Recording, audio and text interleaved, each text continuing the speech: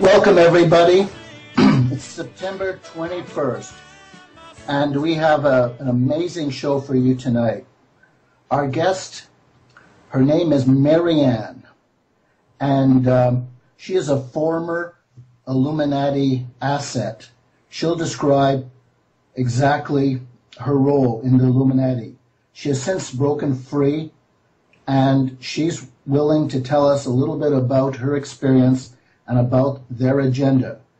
We're going to be careful not to name too many names in order to protect Marianne because she's taking a great risk. Marianne, are you there? Yes, I am. Hello. Hi, Marianne. Thanks very much for joining us tonight. Thank Marianne, you uh, for having me. Tonight, Mary, uh, tonight is the vernal equinox you mentioned. Yeah. What, what would you, what is, what would your uh, former um, acquaintances in the Illuminati be doing tonight on the vernal equinox? Um, this is a very important holiday to them. It is um, what many on the calendar consider one of the top six holidays. They are um, celebrating the um, harvest. This, so this is a harvest festival, and um, in that festival, they um, will commit sex acts, and um, a human will be sacrificed. Now, is this just one human in one location, or is this taking Not at place? all. No, this will be done all over the world by those who are involved. So, are we talking about hundreds of rituals in which humans are sacrificed? I would say tens of thousands, if not more. Where do they uh, where do they get these sacrificial uh, victims? Uh, a lot of them are specifically um, conceived for the very purpose of later being sacrificed. They have um, women that are called breeders who uh, there's actually no record of them being alive. This is a perpetual thing that they do. And all these women do is get pregnant so that they can have children that will be sacrificed. In addition, a lot of the missing children we hear about are also um, victims um, in these rituals. And it's not always children. It depends on uh, what particular ritual they're doing. Um, they sacrifice adult men at um, the Friday before Easter. What is the um, what is the intention? What it, what do they uh, what do they believe they're achieving through these human sacrifices? Um, it's uh, primarily they believe that they are gaining power. Um, it is the desire of uh, Lucifer, their their god, the the one that they follow and and are working to satisfy, um, is to shed blood because they know that there is phenomenal um, value in blood, or that's their belief. Um, that's also a belief in Christian faith, but that was uh, mainly accomplished through the sacrifice in the Old Testament of animals, and then in the New Testament of Christ. But basically, they believe that they will be um, gaining power, and often, as a part of that ritual, they will eat the heart, and they prefer to have it still beating. I know that's pretty, pretty gross, but that's Okay, uh, Marianne, comment. thank you. Thank you, Marianne. As you can hear, the music's on. We'll be back in three minutes.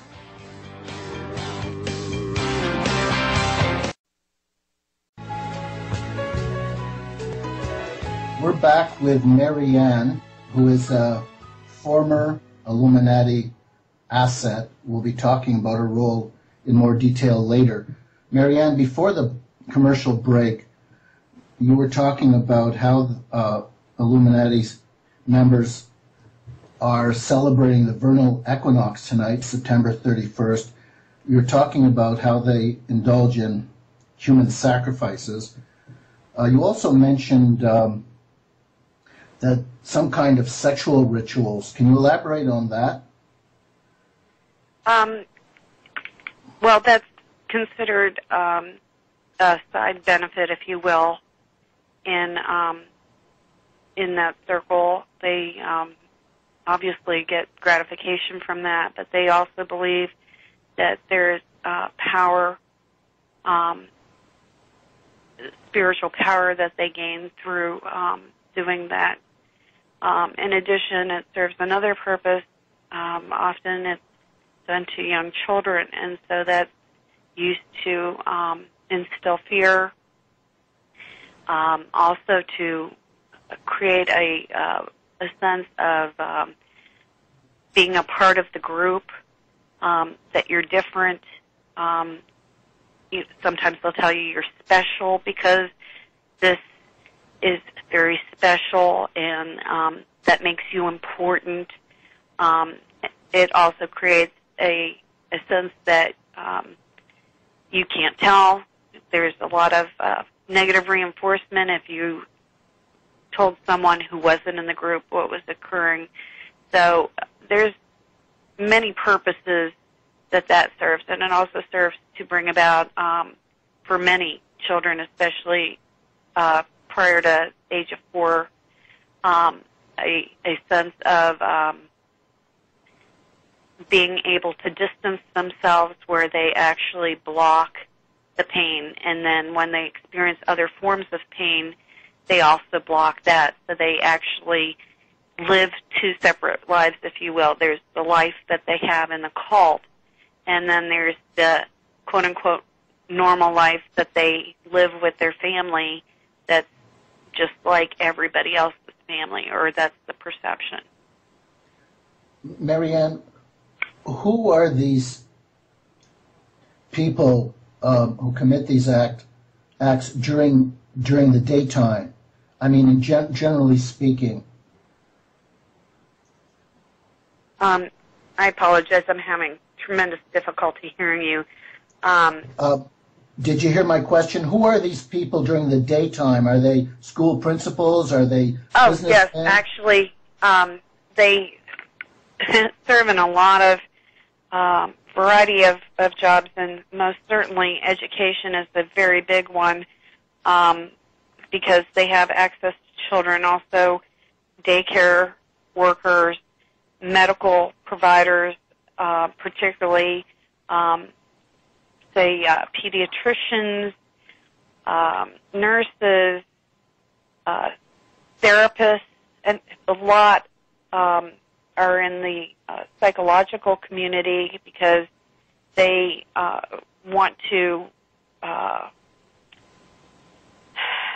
to make the person doubt that what they experienced was really an accurate perception of their life. Um, but they're in all walks of life, and I think that's really important um, to note that they're in the banking industry, they're in the legal system very prevalently, law enforcement, um, judges, um, government agencies, for example, um, people who award contracts within local, state, and federal um, agencies. They're very heavily um, involved in the uh, legislative branch of our United States government. Um, they're in the three branches of our national government in the United States, um, the executive, the uh, legislative, and the judicial. Um, in other words, they they've networked in a lot of different professions, primarily so that they can um, cover for each other. They're also very involved in technology, um, in the life sciences, in the computer industry, military, very heavily in the military, um, in the religious organizations, in um, a lot of the charitable organizations, research areas tend to have more than other professions, but um, they're everywhere. So to say um, that they're just limited to a couple industries would be um, inaccurate.